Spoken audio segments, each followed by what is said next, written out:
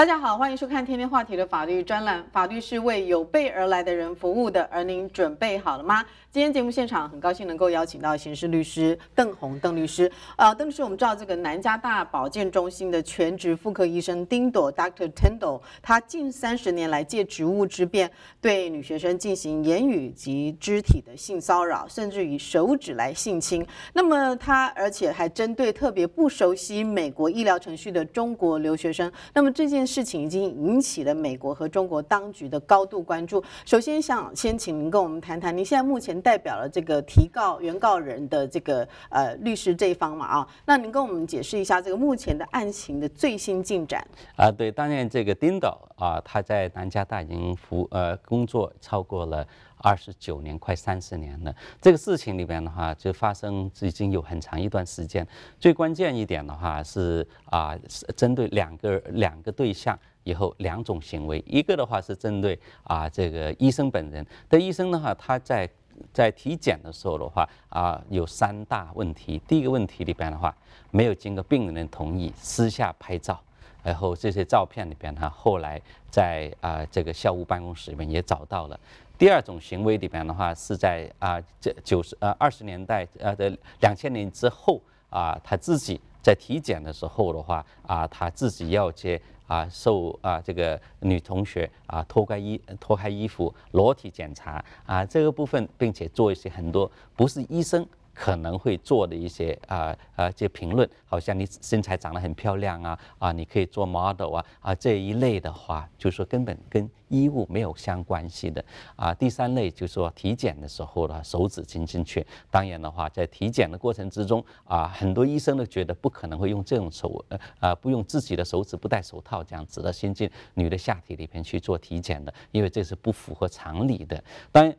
这三个在在过去快三十年里边的话，这个案件一直都没有曝光。更糟糕的话是学校校方那边的话，已经得到了很多投诉。但是校方并没有采取必要的行动，所以为什么话这个事情经过《洛杉矶时报》的报道之后啊，引起啊很大的啊这个争议啊，现在的话校长在舆论啊的呃压迫之下的话啊，这个现在已经说啊我他要辞职了啊，当然这个事情并不是。呃，到此为止啊！现在洛杉矶市警察局也开始立案进行刑事调查，针对校医啊，这个他有没有性侵犯啊？这个女同学。另外一方面的话啊，针对名字的部分，我们现在也是已经有很多学生委托我们要求。追求是老这个校医，还有学校校方的责任，因为毕竟里边他校医有可能他会面临的刑事的惩罚跟民事的赔偿，但是更重要一点的话是南南加大校方的话，他并没有采取必要的自己的措施来调查这个性侵案件，就是在九零年呃在九九九年开始就有不断的报案，也并且的话报案的人士是属于。校的这个学校里边的护士、助理人，他看待看到这个校医的话，做出这个动作以后不忍心，以后看到这些同学受伤，他们主动去报案，最后向上司啊投诉，但是的话，上司并没有真正的认真调查。在美国，如果呃提这个性侵害或者是性骚扰的这个呃时效，是不是呃会有受到？限制呢？啊，对，在 Bill Cosby 这个案子啊爆发之后，因为啊 Cosby 这个影星被指控性侵了很多啊要啊年轻的啊想要有一个角色的这样的女演员啊那时候呢，但是报案的时候发现啊很多事情就是十四年以前发生的，十五年以前发生的，二十年以前发生的。加州的话，一般哈对性侵的案件有一个所谓的 statute limitation 时效的追溯性啊是十年。啊，但是这个案子发现了很多啊，这个以呃以前这个隐性被性侵的案子都没办法立案，所以话在呃呃二零一六年的话，加州通过一个 SB 啊八一三提案，这个八一三提案的话，就将性侵的案子的时数啊的追溯期的话取消掉，所以的话现在呃可以看得出，就算以前发生了十年以前、二十年以前的，只要有证据，检察官都可以起啊起诉。所以这部分的性侵的案件里边的话，时效性已经没有了。呃，当然的话，对告学校这部分的话，还是有学有时效性的，就是说你已经知道学校失职了，没有及时去阻止这样事情发生，往往是两年之内你必须要告学校。我们可以看得出最新的一个案件的话。是在 Michigan State 里边去，Michigan State 里边，我们记得的话，Larry Nassar 这个是校医啊，他被指控性侵了体操美国的体操队运动员，并且的话，他也是 Michigan State。里边的效益，所以的话，一共呃，他当然后来认罪，被判了一百年以上的劳刑啊，他一辈子也出不来了。当然，学生告他也没有用，为什么？他已经是呃坐牢了，也不可能有太多的啊经济方面的赔偿。但是的话，受伤害的学生有三百三十二名，他提告了，告了 Michigan State 大学，告了美国的体操。呃，运动会啊协会，还有告了美国的奥委呃奥委会啊，这几下几个里边的话，在两个礼拜以前啊，他们已经是学校校方的话，同意向现在提告的三百三十二名受伤的学生补偿五亿的的赔偿。先信下广告，广告回来之后再请教呃邓律师更多有关于南加大校医性侵案件的始末。广告后见。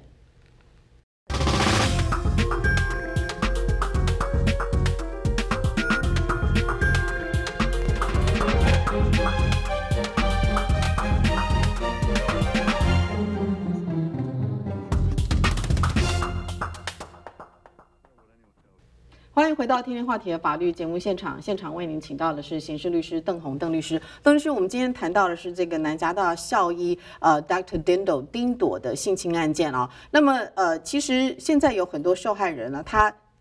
知道说，他当时接受 Dr. Dindo 检查的时候，他是有受到侵害，但是呢，呃，他现在有一个很大的顾虑，就是说他怕站出来的时候呢，他会受到这个隐私会受到呃骚扰骚扰。那在这种情况之下，您作为这个呃原告律师的话，在受害人的名誉跟名节上面，你会提供哪些保护呢？嗯，对啊，在加州法律里边的话，它是保护。啊，原告的啊，他他这个身份隐私的啊，尤其在性侵的案件，我们不希望的客人站出来以后会二度伤害啊。我们有些客人的话已经表示的话，我现在已经结婚了，我不想呃让我老公知道这个事情，或者是男朋友知道这个事情啊。以后当然我们是尊重他的这方面，在法律上面的话，在我们诉状里边的话，也可以用代号 Jane Doe 这类的名字来表示的话，为了保密啊，以后不让别人知道，因为毕竟你。这样的话啊，对这些受害人来说，伤害可能是永很很长时间才能够恢复，不像一个车祸发生了啊，脚断掉以后过一段时间的话，康复会康复好来。啊，心理这方面的问题可能是一辈子的啊。我们呃有一些病人里边呢，有些原告里边的话，可以看得出的话，到现在还没办法啊，就是 recover 已经是呃快十年了。同样他他不相信医生，认认为的话啊，这个医生里边的话，尤其是男医生，以后的话呃这样子动作的话是伤害到他一辈子啊。所以我觉得这个部分以后我们加州法律的话，在在原告保护方面的话。做了很多的保护，如果是性侵案件，你可以不露面。以后的话，有的是有很多案子，连学呃这个当事人的身份。不能问有没有身份这部分的话都可以问，并且的话，这个案子取证的过程之中的话，我们也发现了很多人担心事情发生那么久了以后的话，我怎么知道有呃有没有办法能够啊能能够说服啊这个检察呃检察官的立案，或者是啊我们要说服陪审团有这样的事情发生？其中的话就两个好处，第一个好处里边的话，每一个人都有都有同样的故事，我们可以 establish 一个 pattern，他们的做法里边哈的，他他的。手段是这样子的方式，所以话这部分的话，人多了，我们大概会知道这方面。另外知道，我们要知道哈，举报的人是护士，护士里边呢看不惯的，所以话只要我们当时的话，护士这这个护士值班的时候，这个学生是刚好那段时间来中国留学生，所以我相信里边这个案件的话，用这种的话有 cooperation，有这种的话可以说吻合的哦，这个护士。投诉的时候，其实我看到这个医生做这个动作，我不忍心。以后啊，同时的话，因为所有的医生必须要对病人的病历做一个保存，并且是永久性的保存。我所以的话，我们可以看得出这个留学生是不是在那天啊，在看的这个呃看的这些校医，并且的话，那天这个投诉的这个护士是不是同时在那边值班？如果是这个护士看到了。我们病人也是说有这样的行动，那基本上的话，我们可以说服陪审团，性侵的事情有发生。嗯，那如果现在目前在美国的留学生曾经有这个不愉快的遭遇的话呢，那他勇敢站出来，他的签证会不会受到影响呢？对，在美国里边的话，就是针对这些受害人的话，他们特别有一个所谓的优签证。优签证的话，就是说在家暴啊、性侵的案子里边的话，你只要站出来作为证人。这种情况之下的话，警察局提供一个证明，就可以申请一个优签证。优签证跟别的签证不太一样的，比方的话，就是优的签证在案子结束之后，这个当事人可以申请绿卡。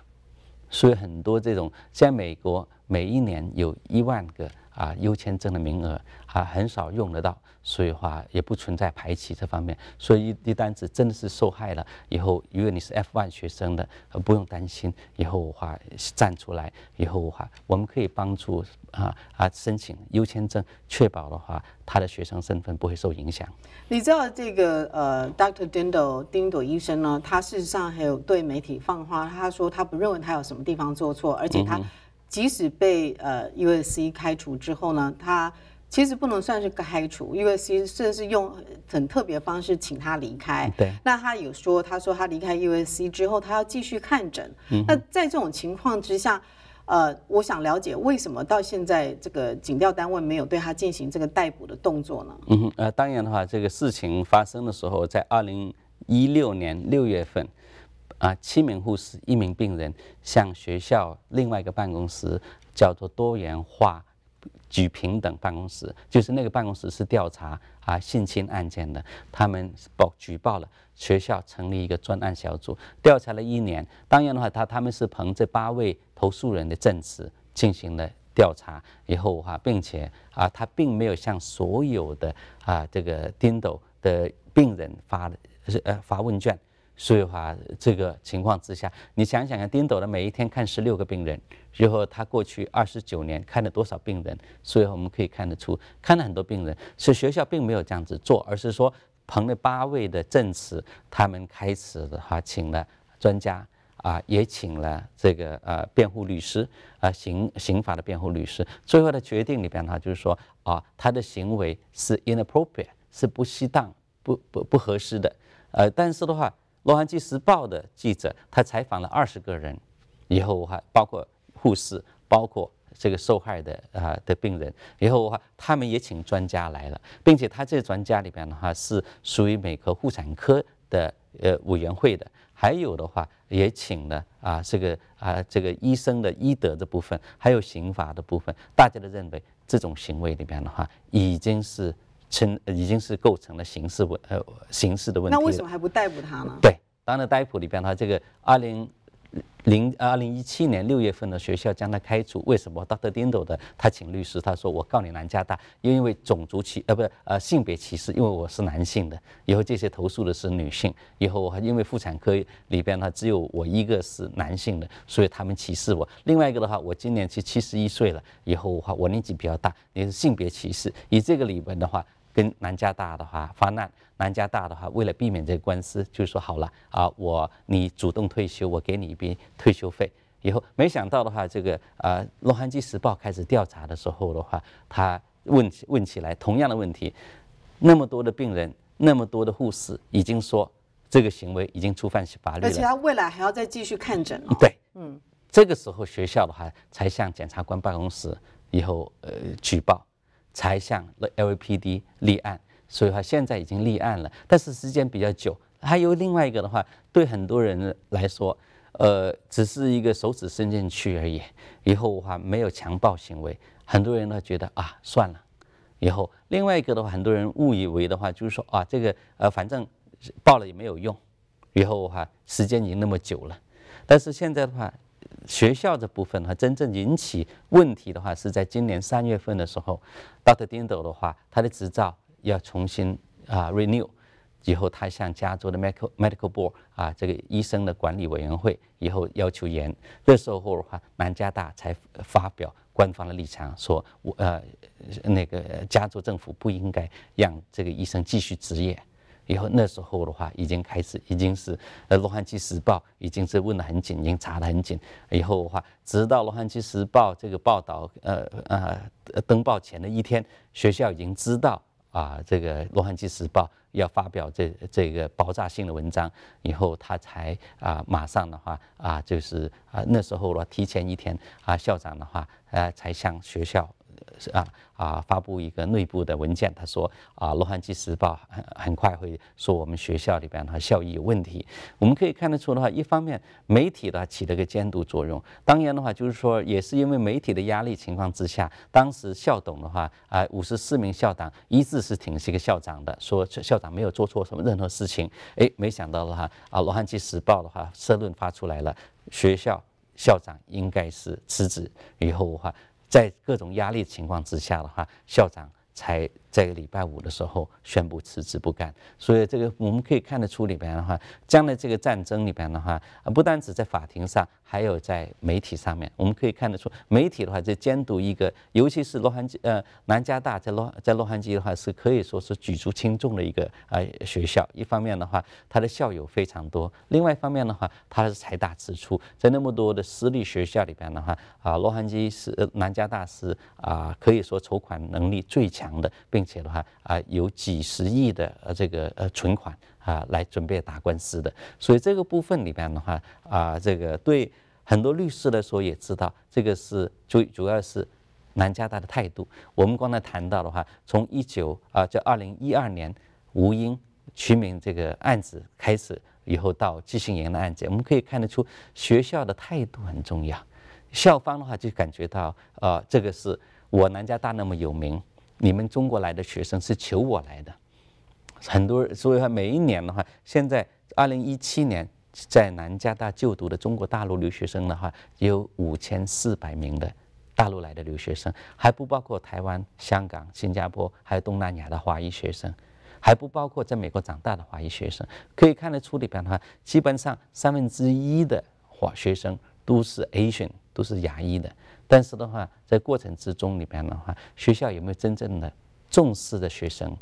没有。所以我们为什么觉得的话，就是说，呃，自从那么多的案子下来，我们不是针对南加大的啊，他的的每个学校，我们是告出去，最重要的话，就要让学校任何一个学校，在收留学生的时候，还要侧重他们的安全、健康。所以的话，很多时候你想想看。一个大陆来的留学生，一年的学费大概六万，以后再加上住宿的费用，大概是一万五到两万，八万块钱。五千四百名的大陆留学生，还有包括很多来这边做研究的学者，在学校里边的话，大概每一年给南加大带来四亿美元的收入。在四亿美元的收入里边的话，那是中国二级城市整个城市里边的预算。一个学校能够将能够将二级城市的预算呢拿下来，可以是多大的一个收入？所以话很多时候，并且的话，还有很多华人也去捐钱，企业家捐钱，像那个啊，这个啊啊谢明啊，这个工程系的，一捐就是捐了啊这个两千万啊给的工程学院，有很多这部分，我觉得的话就是说我们华人。付出很大，但是学校里边的话，我们希望新的校长上台之后，能够真正的话，不是追求除了筹款呢啊之外的话，还要注重一下学生的安全问题。对，学生安全问题是非常的重要，特别是对到异乡来留学的留学生来说呢，新来乍到的环境，你要怎么样？呃，自保以及被保护，我相信这会是以后我们要相当关注的重点。今天非常感谢邓律师来到我们节目现场，也谢谢您收看，我们下礼拜再见。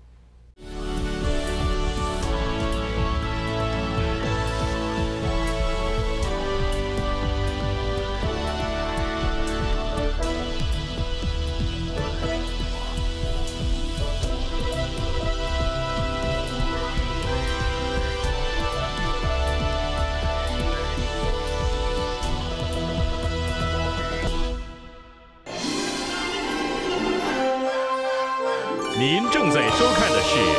凤凰卫视。